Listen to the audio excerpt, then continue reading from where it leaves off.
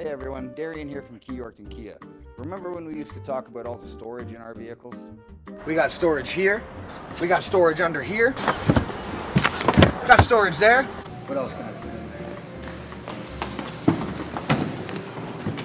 in there? So today we're going to take some time and go over all the storage in the new 2025 Kia K4. First things first, we have the trunk, plenty of storage in there, and even got storage for the spare tire down below. Plenty of gas storage right in there. Moving into the back seat, we have storage in the door, water bottle, and then storage for all the kids' crushed crackers and pretzels, whatever else they got.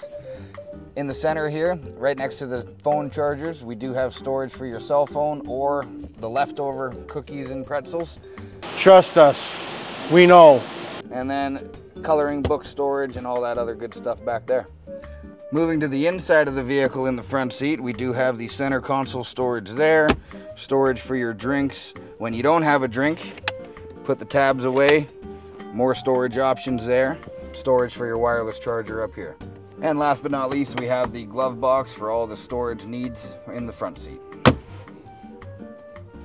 So for any and all your Kia K4 questions, don't hesitate to give me a call at 306-783-2772 or better yet, stop by and see the one we got in stock today.